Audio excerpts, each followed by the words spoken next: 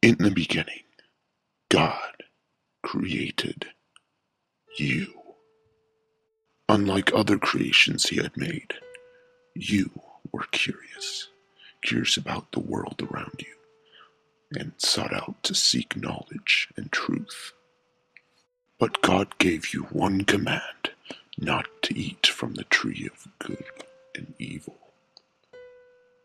But still, you disobeyed. So God cast you out of heaven, because he cannot be with sin. Soon you wanted to find the answers to get back to heaven.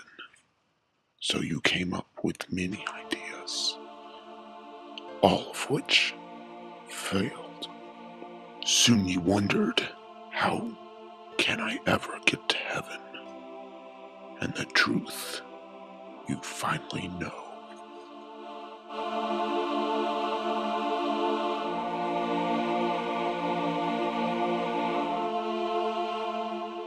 Believing is the only way to heaven.